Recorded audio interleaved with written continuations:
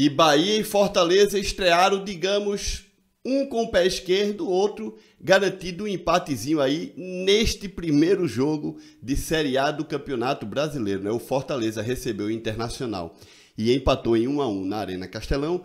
E o nosso querido Bahia foi lá para Bragança. Aliás, Bragança é essa que o Bahia nunca venceu o Bragantino pelo Campeonato Brasileiro, mesmo antes, tá? Antes de ser Red Bull Bragantino, o Bahia sempre foi para lá pelo Campeonato Brasileiro da Série A e sempre tomou uma pancadinha, né? Bahia voltou a perder por 2 a 1 no Campeonato Brasileiro ontem por Bragantino e a gente vai falar um pouco do que foi, né? Na minha opinião, Fortaleza 1, Internacional 1, Bragantino, Bragantino 2, Bahia 1. Vamos nessa.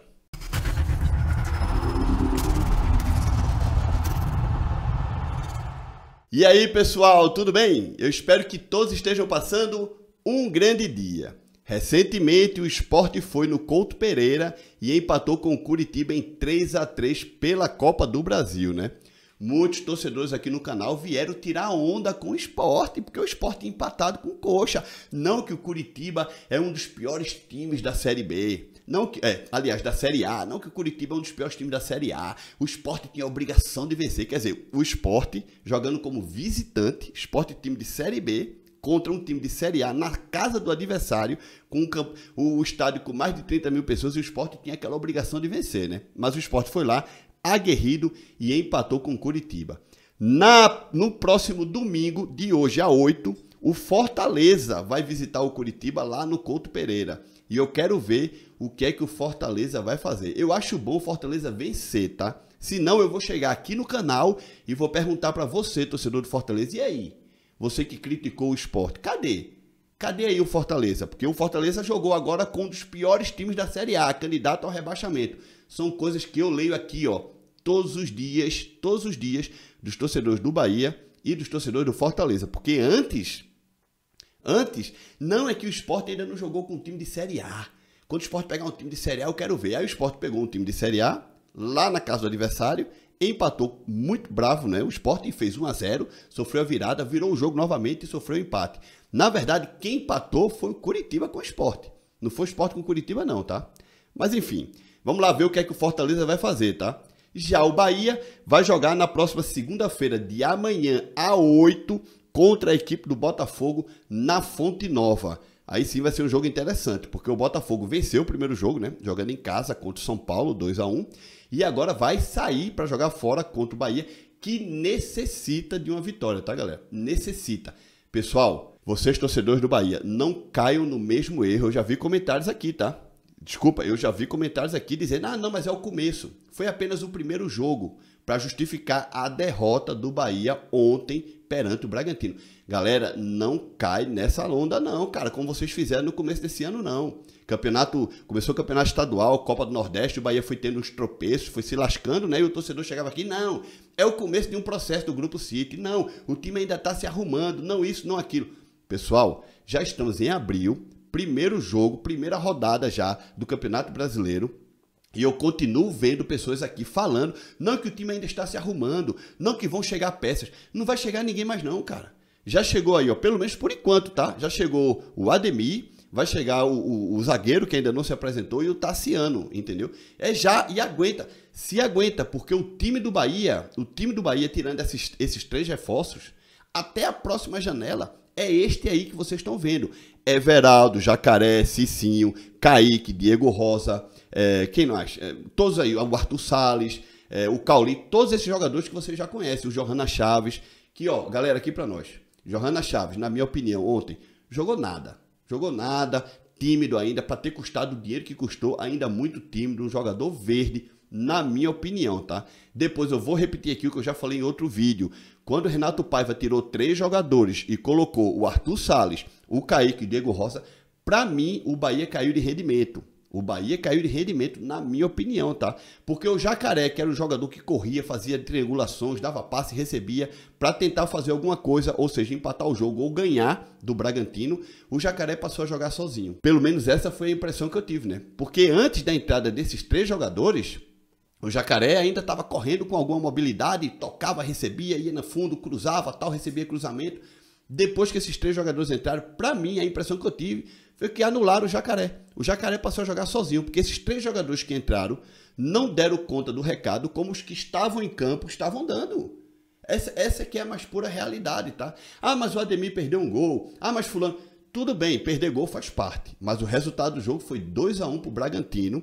O Bahia perdeu e agora vai ter que vencer muito, mas muito mesmo o Botafogo na, na segunda-feira de amanhã, 8, na Arena Fonte Nova. Vai ter que vencer e a torcida vai ter que chegar junto para empurrar esse time.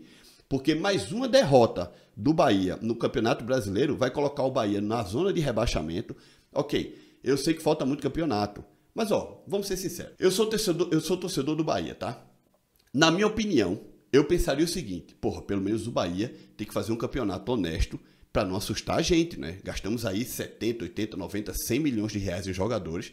Pelo menos que esses caras fiquem entre os 12 primeiros, entre os, sei lá, 11 primeiros do Campeonato Brasileiro. Agora imagina, você, torcedor do Bahia, passar 38 rodadas sofrendo com o Bahia. Bahia fazendo igual o Fortaleza no passado. É, é, zona de rebaixamento fora, dentro, fora, dentro, fora. Só que o Fortaleza, no segundo turno, teve um poder de reação muito grande e terminou o campeonato como, no, no retorno, o terceiro melhor time do campeonato. Perdeu apenas para o Palmeiras Internacional. Tanto é que o Fortaleza conseguiu a oitava colocação e se classificou aí na pré-Libertadores. Não pensem que isso vai acontecer com o Bahia também não, galera. O Bahia precisa ganhar jogos urgentemente. É necessário vencer o Botafogo na próxima semana, de amanhã a 8, e vencer o jogo seguinte também, para dar uma respirada. Porque se o Bahia empatar com o Botafogo, Botafogo que venceu o primeiro jogo São Paulo, tá? Se o Bahia empatar com o Botafogo na, na segunda, é, na Fonte Nova, na segunda-feira outra, na Fonte Nova, vai ficar com um ponto. E aí, bicho, o negócio vai começar a ficar feio, porque é campeonato brasileiro. Por favor, torcedor do Bahia, entenda a minha crítica. Entendam a minha crítica. Não caio nessa conversa de que não, o campeonato está começando, não, Renato Paiva vai organizar o time, não isso, não aquilo. Não caio nessa conversa, sinceramente. Muita gente aí da mídia nacional, ESPN, Globo, um monte de gente aí colocando o Bahia como um dos possíveis rebaixados do Campeonato Brasileiro esse ano. E eles estão dizendo isso pelo que o Bahia tem apresentado. Um futebol muito fraco na Copa do Brasil, foi avançando, mas com um futebol muito pobre. Depois, um futebol pobre mais ainda na Copa do Nordeste, nem sequer, nem sequer passou da fase de grupos da Copa do Nordeste. Depois, no campeonato estadual, foi campeão. Massa.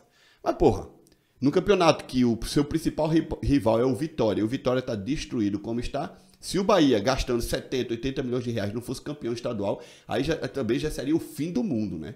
Então, sim, o Bahia foi campeão estadual, parabéns, 50 títulos, massa, mas na Copa do Nordeste falhou e no campeonato da Copa do Brasil tá ainda aí, mas enfim, venceu agora o Volta Redonda. E o Volta Redonda foi o principal adversário que o Bahia jogou até o momento na Copa do Brasil, tá? Porque pegou um time, acho que foi a Jacu, Jacuipense, né? Enfim, não lembro. Pegou um time baiano, pegou o Camboriú de Santa Catarina. Camboriú esse que ganhou, que o Bahia ganhou lá por 1 a 0 no sufoco. E o Camboriú, na época, era o décimo colocado do campeonato catarinense e agora jogou com o Voltaço, Volta Redonda, né? Ganhou, entendeu?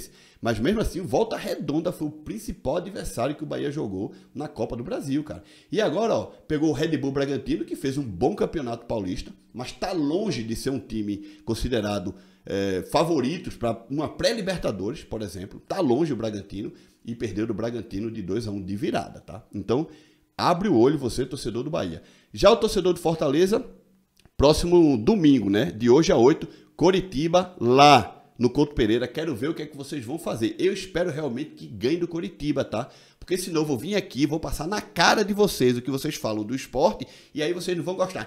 Hum, eu vou desinscrever. Vou me desinscrever desse canal porque você é muito clubista.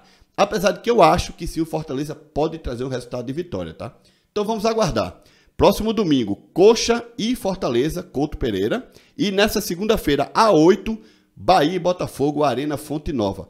Vamos ver, né? De todas as formas, o resultado de empate do Fortaleza contra o Internacional, eu esperava uma vitória, eu falei isso em outro vídeo, mas eu até considero um resultado normal, tá? Eu não sei se o não sei se o Fortaleza esse ano tem, apesar de ter um time bom, eu acho que o Fortaleza tem um time bom, cara, mas não sei se tem time para chegar na Libertadores via Campeonato Brasileiro não, tá? Eu se eu fosse Fortaleza administrava o Campeonato Brasileiro, campanha de manutenção e caía forte na Sul-Americana. Forte porque aí tem condições de ser campeão e, quem sabe, voltar na Libertadores em 2024 como campeão da Sula. Campeonato Brasileiro eu administraria. campanha ali para décimo, décimo primeiro, décimo segundo, nono, oitavo, para não dar muito susto na torcida e caía forte, forte na Sul-Americana. Não esquece de deixar like nesse vídeo, se inscreve no canal, hein? Nos vemos no próximo vídeo. Tchau, galera!